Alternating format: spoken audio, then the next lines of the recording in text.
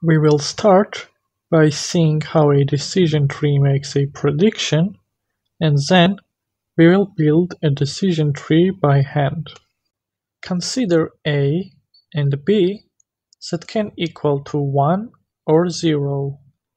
The table shows us the possible multiplications. On the right, we have a decision tree expressing this table. The top node of the decision tree asks for the value of "a". If the value is zero, we visit the child node on the left. This is a leaf node, commonly denoted as a square. It gives us the decision of the tree. If a were equal to 1, we would visit the child node on the right. This is an internal node, commonly denoted as a circle. It asks for the value of b, and then sends us to the corresponding leaf node. Let's now explore a toy dataset and then build a decision tree for it. The following table shows us whether each of the five subjects got sunburned based on the type of sunscreen they used and how long were they exposed to the sun in minutes. Lotion is a nominal attribute.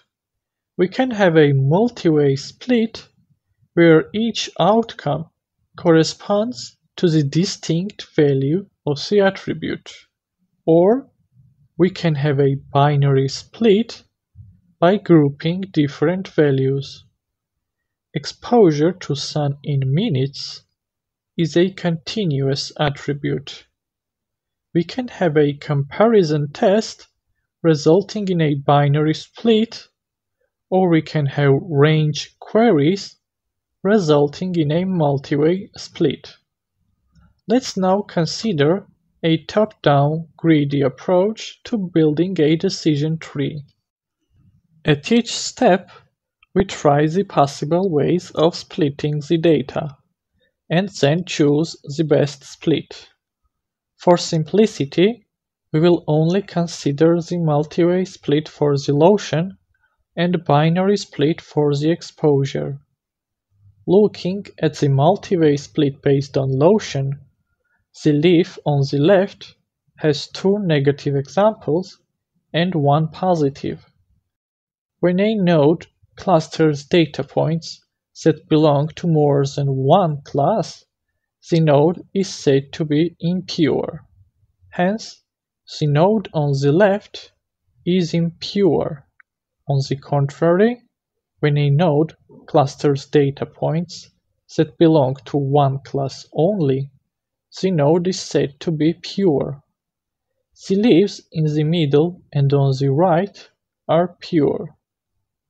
The level of impurity of an arbitrary node T is commonly measured with Gini impurity, where C stands for the total number of classes and P of i conditioned on T stands for the fraction of samples that belong to class i at node T.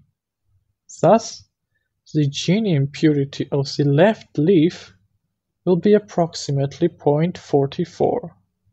Rest of the leaves are pure and have a Gini impurity of 0.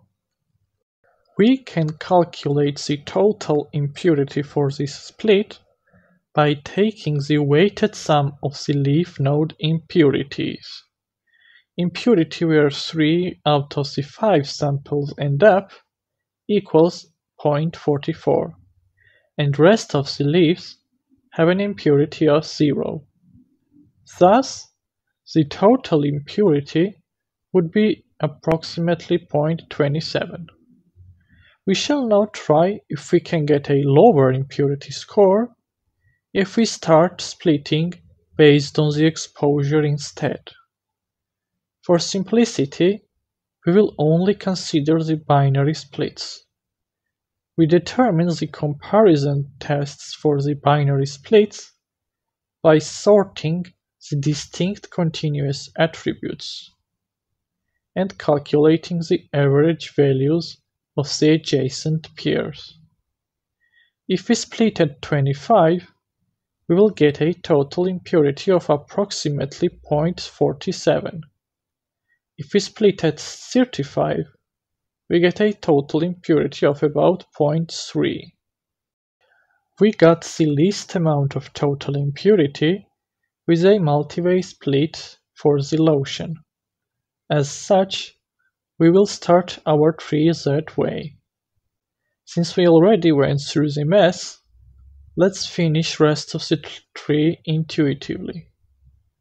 We have the most amount of total impurity at the left leaf.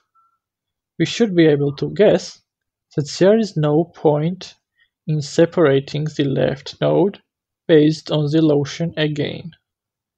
We are left with two possible binary splits based on exposure.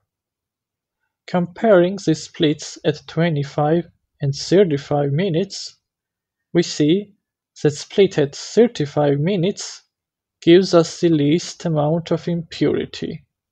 Hence, we will choose that split. The tree we obtained is overfit to the training data.